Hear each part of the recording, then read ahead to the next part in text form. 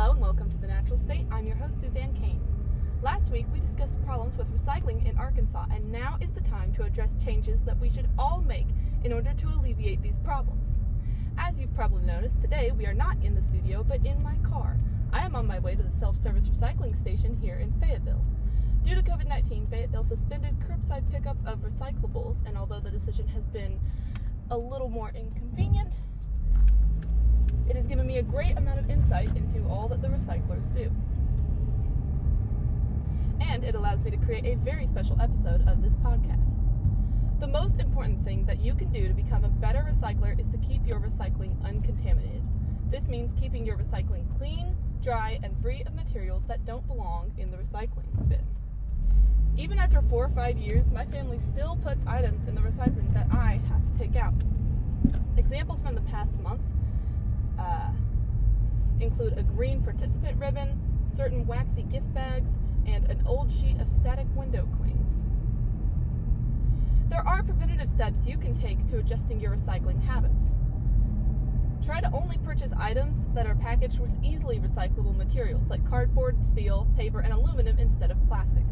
If you do have to buy plastic products, try to stick with number one and number two plastics, as they are the easiest to recycle. Number one plastic. There are some materials from my family's recycling that I have been surprised to learn can be recycled. Ibuprofen bottles and a Bath and Body Works lotion bottles were plastics that I didn't really consider putting in the recycling bin. The self-service recycling station is just about a mile from my home, and in the future I plan to use my roller skates and a wagon to take the recycling there, making the process completely free of carbon emissions. In addition to the Boys and Girls Club, I am also going to be making a trip to the Walmart Neighborhood Market, which is right next to the Boys and Girls Club. There, there's a plastic bag recycling container that takes all sorts of plastic film. And it isn't too far away from the Boys and Girls Club, so I won't be adding many more emissions.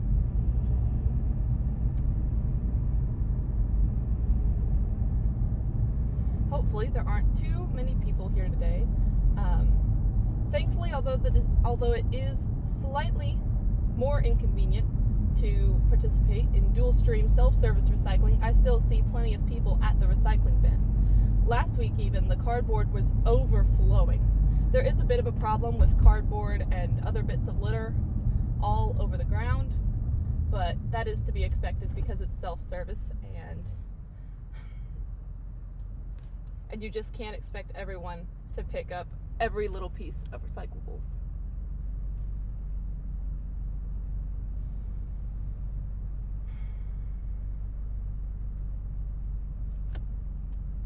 Put on my turn signal. And I'm just waiting. Yes, thank you, green light.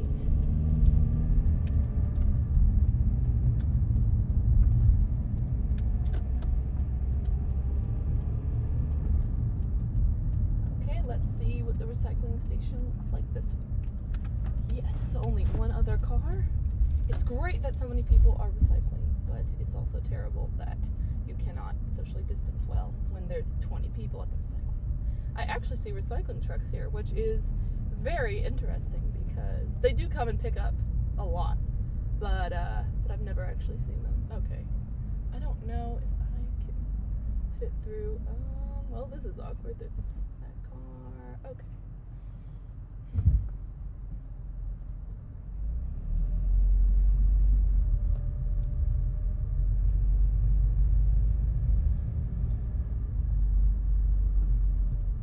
And I hope I don't actually run into the recycling truck. No, thank goodness. Woo! Alrighty, here we are. There's a little more signage now than when um, about what can and can't go in the recycling than when we first started self-service. But the concept is still essentially the same.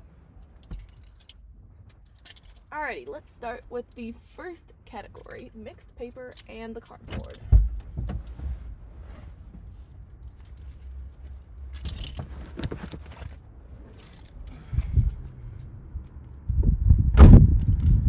Let me see here. I've got a lot of cardboard and mixed paper this week, a lot more than usual. It's one of the biggest categories of recyclables. Now I don't know where to put my laptop except right here. Oh, okay. Here's the blue bag we use in Fayetteville. It's got a little divider way down here that you can't see, but it's got a divider, and one side is for paper and one side is for cardboard. Uh, here's the recycling bin. Um, the recycling bin uh, changed. It used to just have like small signs that showed pictures of what each category of recyclables looked like, and now it's got these um, colorful graphics, and um, it sort of has uh, some of the Recycle Something campaign graphics on it. Um, now let's go.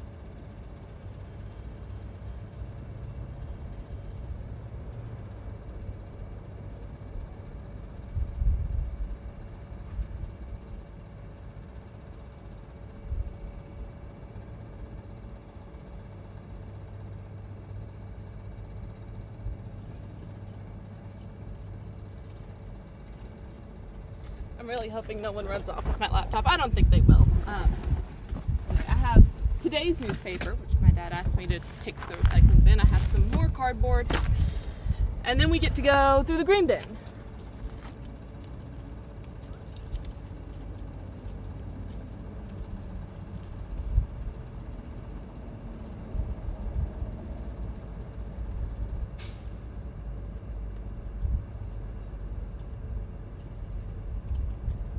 Alrighty, next is our green bin. which I've had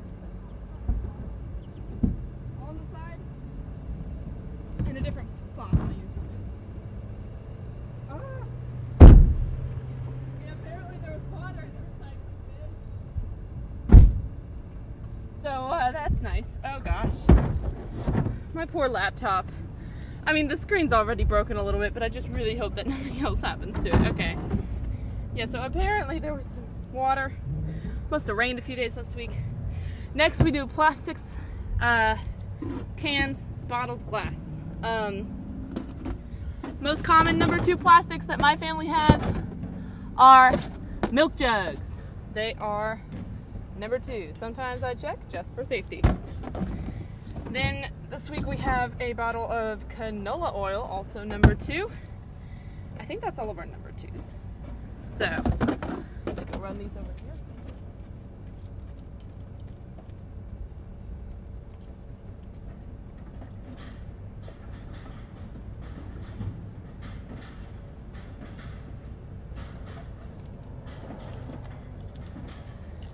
We have the number one plastic bottles.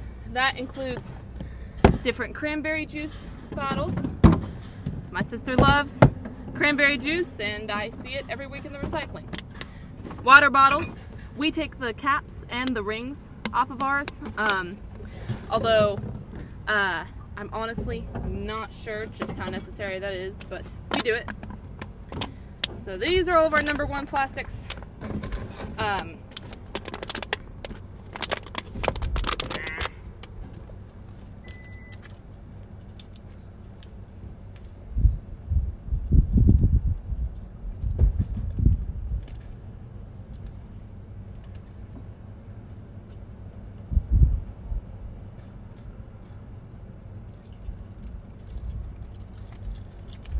Alrighty, next we have our steel and aluminum. We only have one steel thing this week, and it's a can of beans. So I will take that over at the same time as I take over the aluminum cans, which are plentiful. We have one, two, three, four, five, six aluminum cans because my little brother drinks a lot of Coke.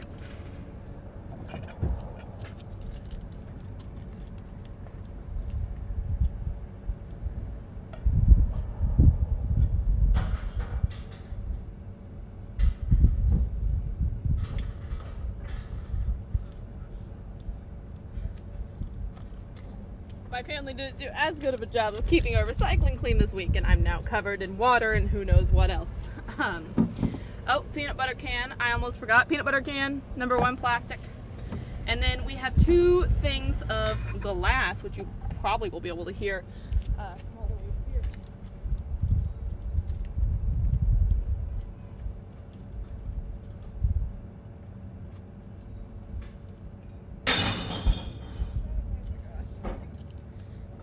I hate the sound of breaking glass, but that's that's just the sound of trying to save the planet.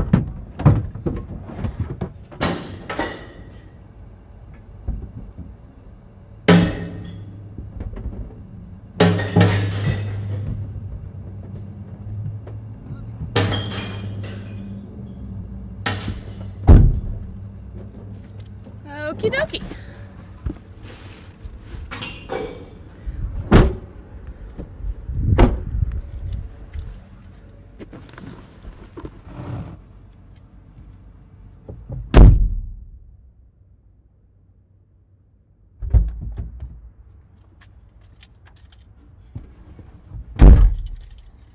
Plastic, not plastics. Recyclables are finished. And now we go on to the recycling. The main bunch of it is finished. Now we are on our way to the Walmart neighborhood market in order to deposit our plastic bags, of which I have a lot of this week, into their plastic film recycling collection. Now, I honestly haven't done enough research and I don't know exactly who's responsible for the plastic bag recycling. I'm hoping that I can back out of here okay. But I do my best to keep stuff out of landfills and um, and I at least try to get it to the bin if there's a chance that it might end up being recycled. I am really hoping I don't hit anyone. Okie dokie, now we just have some nice driving footage.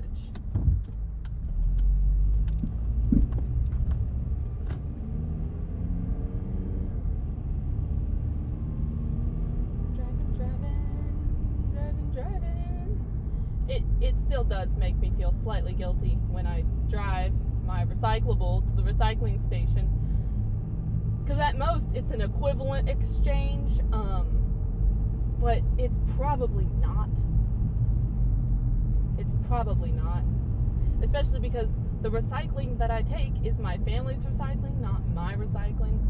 So it's it's all just you just try to do your best.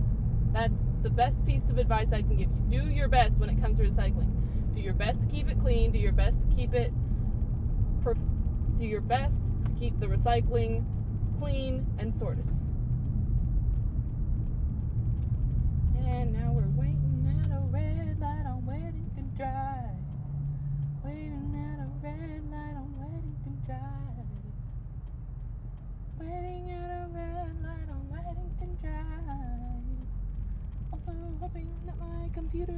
Computer doesn't.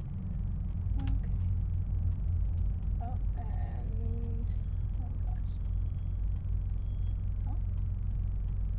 Oh, okay. I think got. Woo, okay. I'm glad I.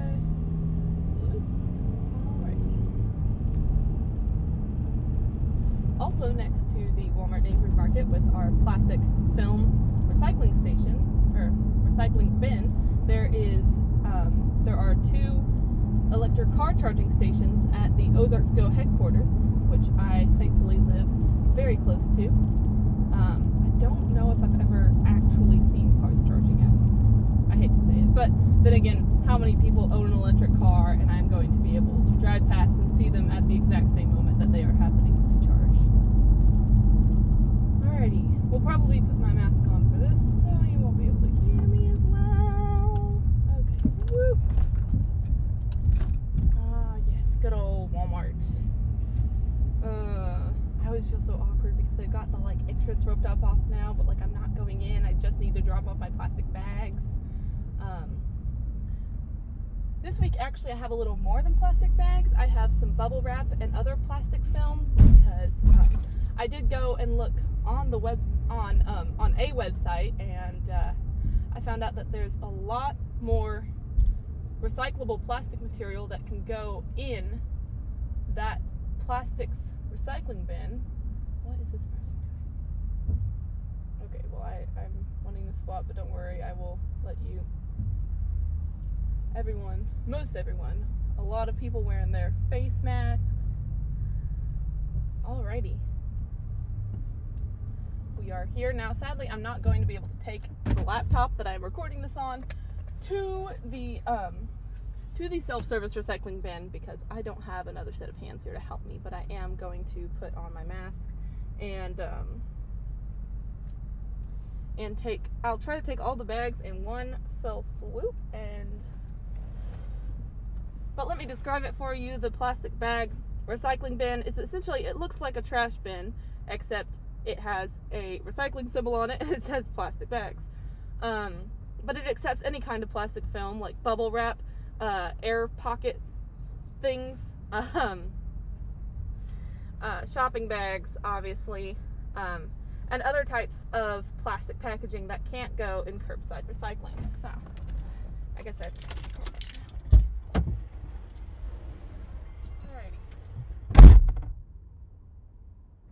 Alrighty.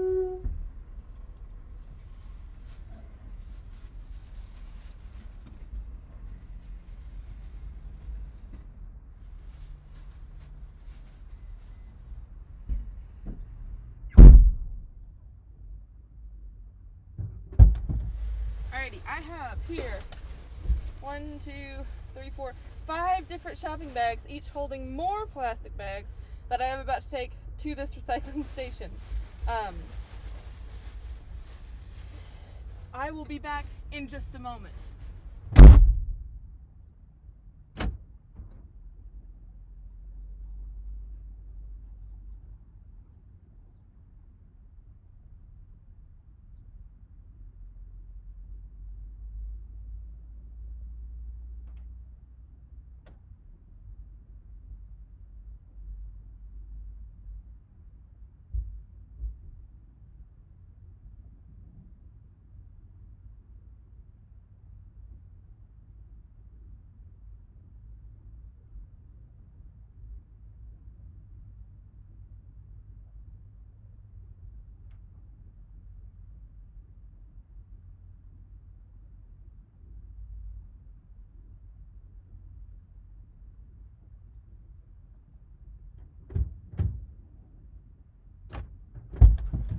Pro tip.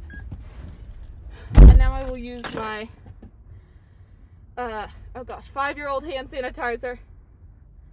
Pro tip if you have too many plastic bags for the trash bin to fit them in through the little hole, take off the lid of the trash can and uh, you'll be able to fit them all in. That is the end of my recycling run.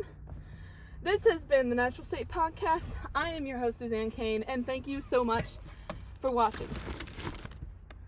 I'm gonna drive home now.